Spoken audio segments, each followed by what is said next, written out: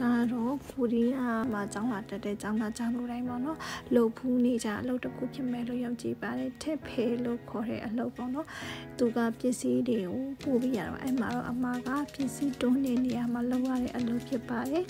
ထိဖေးပြီးတော့ဒုတိယအနေနဲ့အကင်ဆိုင်မှာလုပ်ခဲ့ပါတယ်အကင်ဆိုင်ပြီးတော့လက်ရှိအချိန်ထိတော့ချက်ကြော်တဲ့ဆိုင်မှာချက်ကြော်အလုပ်ကိုလုပ်နေပါတယ် ချက်ကြော်ဆိုင်မှာတစ်ပတ်လုံးပေါ့နော်တစ်ပတ်လုံးလုပ်ပြီးရနောက်ပိုင်းမှာတော့အမကအမတို့ကျောင်းမှာရှိရဲ့ကူကျဲတင်းဆိုတဲ့နိုင်ငံတကာ international student တွေအတွက်ပေါ့နော်လုပ် သူတွေတည်တံ့ထားရှိရဲ့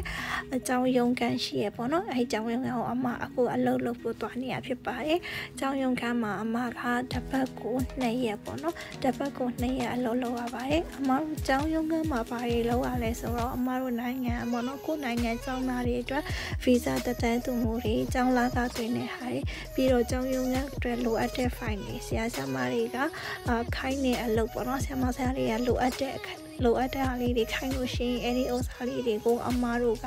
ကူပြီးလုပ်ပေးရပါတယ်အတိကတော့နိုင်ငံတကာကျောင်းသားတွေဖြစ်တဲ့နိုင်ငံအလိုက်ကျောင်းသားတယောက်ချင်းစီတယောက်ကြီးရှိရပေါ့နော်တခါကျအမားတို့မြန်မာဆိုရင်တော့2ယောက်ရှိရအမားတို့မြန်မာကျောင်းသားတွေတက်လိုအပ်တဲ့စားရဲစားတဲ့နေကိုအမားတို့ကကျောင်းသူကျောင်းသားတွေနဲ့ရုံးကန်တွေကိုချိတ်ဆက်ပြီးတော့လုပ်ပေးရတဲ့